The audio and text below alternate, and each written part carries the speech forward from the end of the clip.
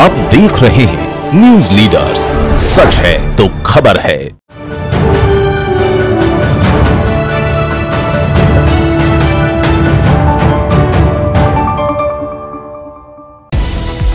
लोकसभा निर्वाचन 2024 के अंतर्गत पहले चरण में शामिल मध्य प्रदेश के छह संसदीय क्षेत्र, सीधी, शहडोल, जबलपुर, मंडला, बालाघाट और छिंदवाड़ा में शांतिपूर्ण रूप से मतदान संपन्न हुआ। मतदान के लिए सुबह से ही मतदाताओं में उत्साह दिखा और मतदान केंद्र पहुंचकर मताधिकार का उपयोग किया।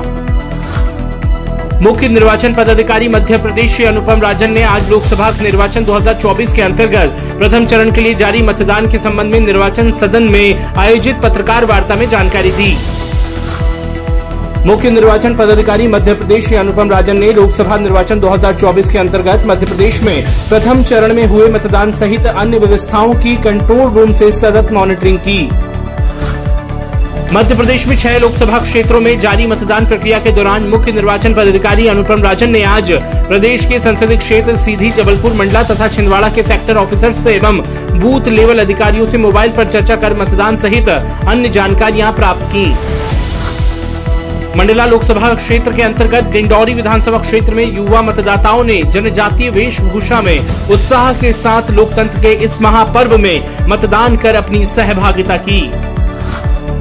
मतदान केंद्रों पर दिव्यांग एवं बुज़ुर्ग मतदाताओं के लिए व्हील चेयर व सहायक की सुविधाएँ भी उपलब्ध कराई गई थी, जिसके तहत ऐसे चिन्हित मतदाताओं ने बिना किसी असुविधा के मतदान केंद्र पहुंचकर मतदान किया। सीधी लोकसभा क्षेत्र के मतदान केंद्र क्रमांक 210, 211 व 212 में नगर पालिका सीधी के सफ़ाई कर्मियों ने लोकतंत्र के प्रति अपनी ज़िम्मेदारी निभाई और सबसे पहले पहुंचकर मतदान किया। बालाघाट संसदीय क्षेत्र के अंतर्गत विधानसभा बेहर में आने वाले नक्सल प्रभावित मतदान केंद्र क्रमांक एक दुगलई में शत प्रतिशत मतदाताओं ने लोकसभा निर्वाचन 2024 में मतदान कर अपना फ़र्ज़ निभाया।